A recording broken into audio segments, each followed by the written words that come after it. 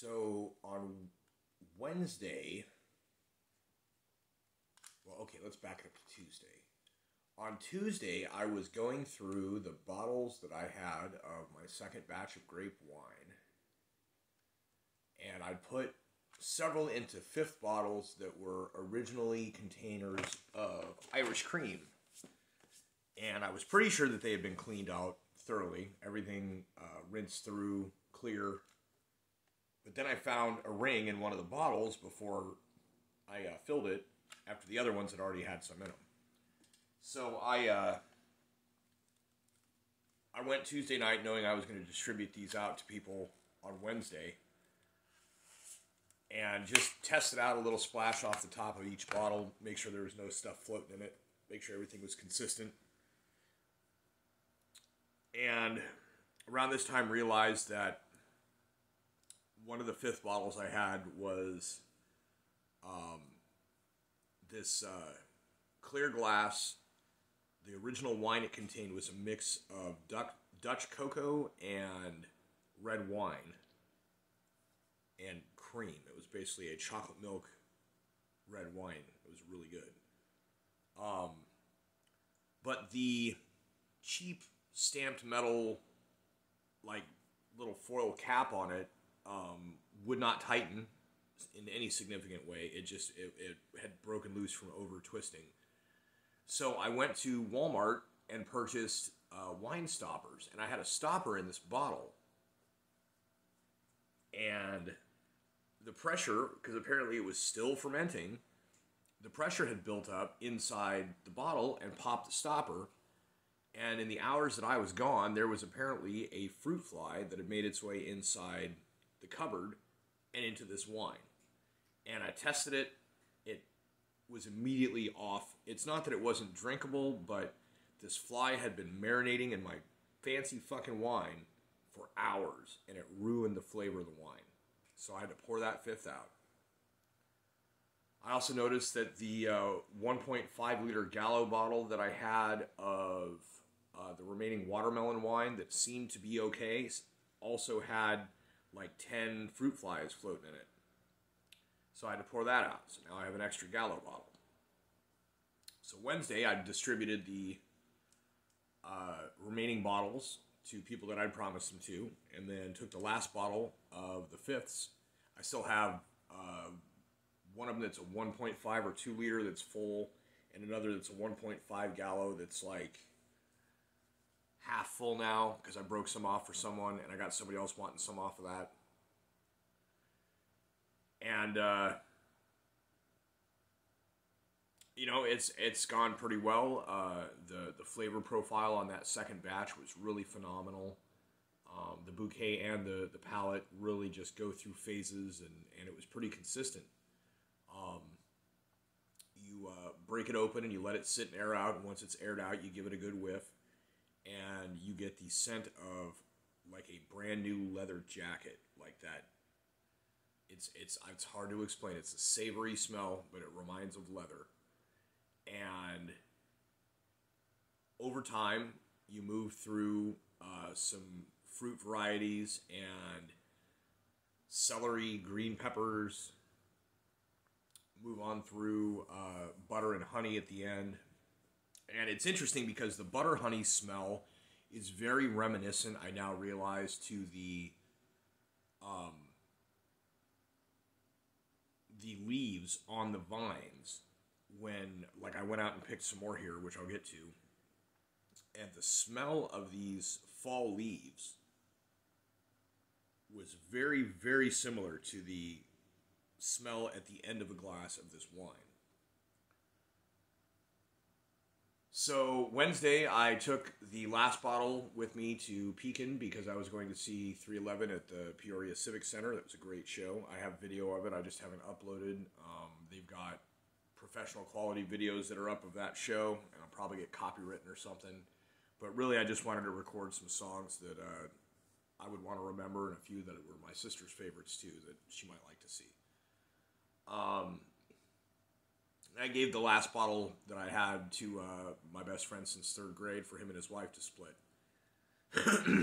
and by the end of the, the evening, there was successful in conveying that like this is not just some bullshit prison wine that I made in my room. Like this is top shelf stuff that I just accidentally made and I'm giving away. So, you know, keep it cold, enjoy it. There's a whole process. Don't just gluck it down. And then I've got people that I've given some to that they're just like, I just want to drink the shit out of that. It's like, please don't do that. You're wasting it if you do. Like, you know, you need to do it right. You need to sit down with this, smell it, enjoy the, the way all the way through. And uh, just a guy wanted to try a little dibble sip, and he did, and it was like, give it a second, and he just goes, blah, blah, blah, and I was like, oh, you dumb fucker. So,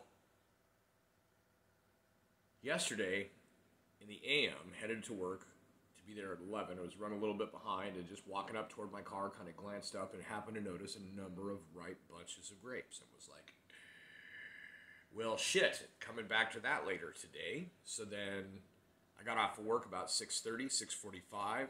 Uh, got home just in time for the sun to start going down and the rain to start falling, but that did not stop me. Um, got my Vulcan ladder out with the adjustable length uh, legs and ended up getting the ladder to work in some fairly precarious positions that were nonetheless somewhat stable and was able to get up and get a whole bunch of well accessible, just overlooked bunches of grapes. A lot, a lot of noble rot on these compared to the last ones. And got as far as I could. I ended up like standing on the old camper trailer. Uh, I don't know that I got the ladder up there. At, in I did that today, but not last night. But anyways, yeah. So I went through about an hour last night, hour and a half, uh, and finally it was just a little bit too much rain. I got everything that was really within reach safely to do, and I was like, anything else I'll get tomorrow. I'll get the pole saw out, the sunlight. So I woke up today, uh, having stored those grapes. I got about this far into the bottom of the five gallon bucket from last night. And so I went out and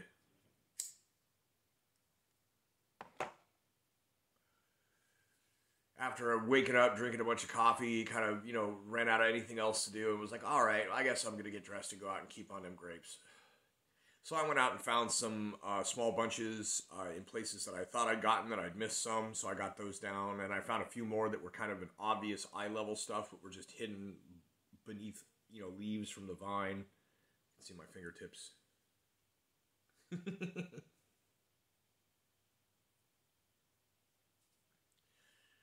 and so I uh, went so far today as to locate all of them on the area by the truck at the driveway, get them all down. There was some uh, treetop clipping I did of some mulberries that uh, brought some vines lower, and then I clipped some of these vine runners so that uh, the whole segments with the bunches would come down. And my hope is that next year, these ends of the vine will sprout, branch off, and and have uh, runners with bunches of grapes on them that will develop after like having been lowered that maybe next year after the harvest of the grapes i might actually have these things close enough to the ground that i can trim out some of these volunteer trees and maybe put up something that'll work as a, a vineyard post or something or some way to make a, a grape arbor more feasible. Because the grapes that i harvested today were between 20 and 30 feet off the ground and my ladder only goes up so high and so i had to get a uh, I think it's about a 15, 16 foot pole saw with a rope pole lopper and was able to get a ladder up onto the barn foundation wall and standing up on that, leaning on a mulberry tree, was able to get a lot of stuff clipped to where I then got down onto the ground with this pole saw and was able to basically skewer these shrubbery bits that had all the grapes and everything in it. I didn't want to try and yank them through and knock grape bunches off and lose grapes and everything. And I did manage to, without much in the way of loss, get maneuver these segments of foliage down and separate the tree branches out and get the grapes. Ultimately, got to about this far from this far in the bucket. And then, as I was going to take them inside and uh, kind of set them with the lid and wait and see what else I might find, or you know, after work, I wouldn't have time to do the the processing or anything before. And I thought to myself, well, I should go take a look around the edge of the yard on the other side of the yard over the other way, because I, I'm thinking there's grapevines over there too. And lo and behold, I find a this ancient gnarled mulberry tree that's growing. Technically, the trunk is on the neighbor's property to the south, and this huge arbor reaches over and comes down almost to the ground. And all over the top of this, at this huge, I mean, there's a limb this big around that is like 30 foot that is just reaching like a, an arc. And the grapevines have grown up from the other land onto this over on this this mulberry tree, and they were all within about a six foot radius or less because I didn't have to move the ladder. Once I had the ladder set up for the spot, I was able to reach all of the grapes. So I got them in, made it to about this deep in the bucket.